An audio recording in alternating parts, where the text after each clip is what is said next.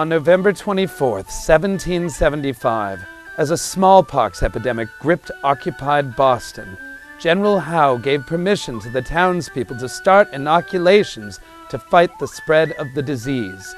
Simultaneously, Howe began to expel infected citizens from the town, sending 300 or so to Point Shirley and into the lines of the American militia that besieged the city. This could be interpreted as an offensive move. Most British soldiers had been exposed to the pox at an early age. The Americans were far more vulnerable. Washington's concern over the tactic led him to write of his apprehension to Congress three days later.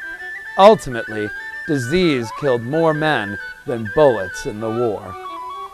This Day in History brought to you by the Freedom Trail Foundation, partnered with the Massachusetts Teachers Association to bring history to life.